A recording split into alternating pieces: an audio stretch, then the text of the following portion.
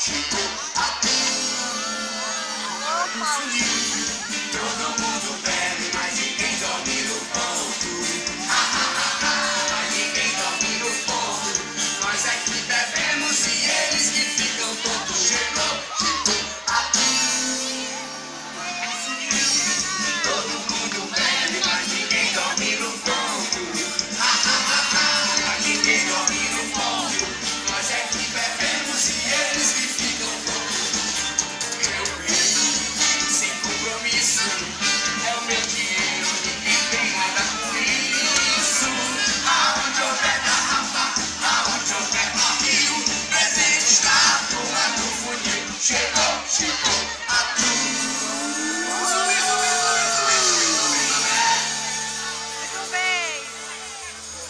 Put some